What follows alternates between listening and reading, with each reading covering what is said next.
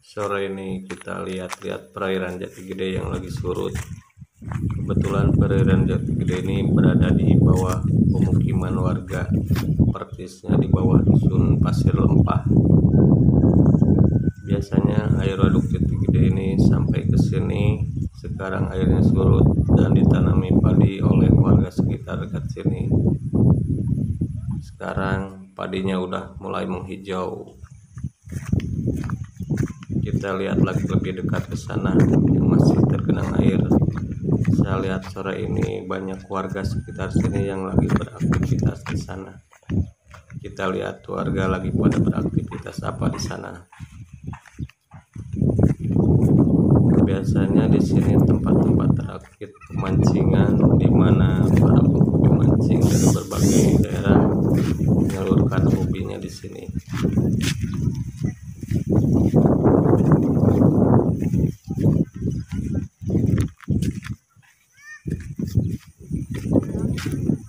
ini salah satu lahan bekas terendam air dan gede yang nantinya bakal dimanfaatkan warga. Kayaknya mau ditanami. Padi nantinya di sini nih. Sekarang udah mulai dirapikan.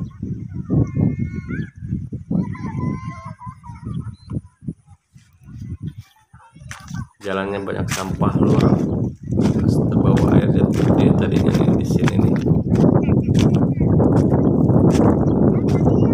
Gak mana jalan.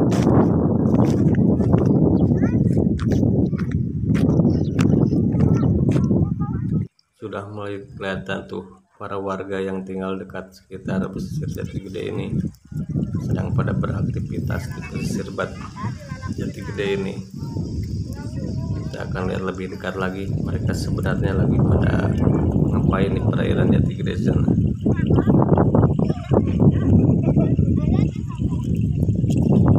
Tuh lihat banyak warga yang nampak lagi pada berendam di sana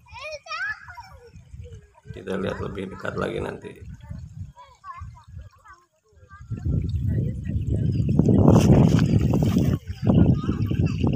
Ini tadinya airnya itu nyampe ke sana yang kelihatan sekarang banyak sampah-sampah gitu.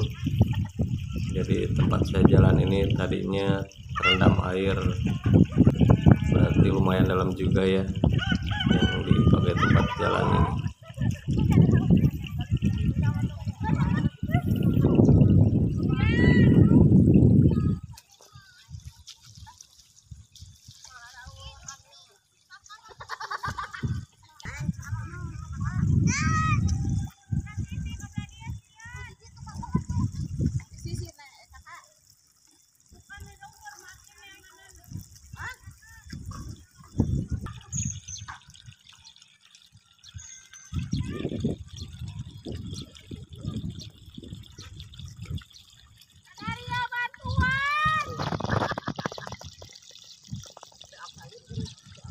itu yang ada atapnya yang pakai tenda-tenda itu. Itu rakit tempat-tempat pemancingan. Sekarang terbawa air jadi posisinya pindah ke sebelah sana. Tadinya posisinya ada di tempat yang dipakai berjalan sama saya tadi. Berarti saat ini jati gede surutnya sudah lumayan tinggi juga nih sekarang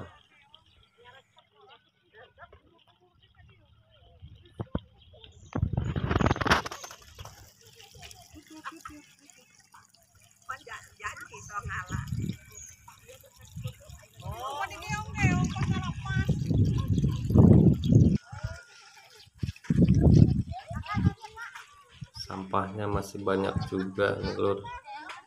Padahal ini sudah dibersihkan oleh warga yang mau manfaatin tanah ini buat bercocok tanam di sini. Tapi saking banyaknya sampahnya masih tersisa. Belok ke dia.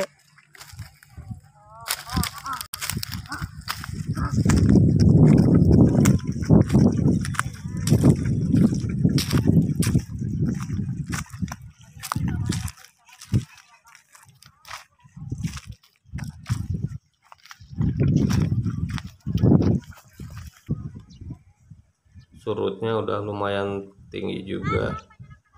Rakit-rakit pemancingan juga udah keseret jauh sekarang dari pesisir jati gede ini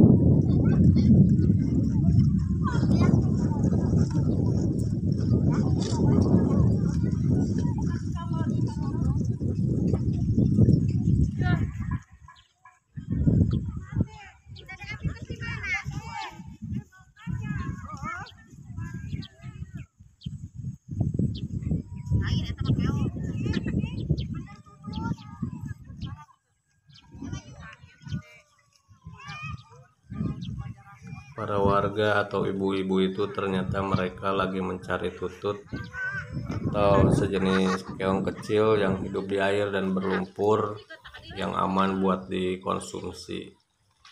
Biasanya tutut ini nantinya ada yang buat dimasak cuma sekedar buat dikonsumsi sendiri ada juga yang buat dijual. Berburu tutut ini udah kayak musiman juga sih setiap kali awal-awal air jati gede ini surut suka terdapat banyak tutut dan suka dijadikan sebagai mata pencaharian musiman juga oleh warga di sekitar pesisir jati gede ini. Kadang kalau lagi musim tutut gini suka ada penampungnya juga buat dijual lagi ke luar daerah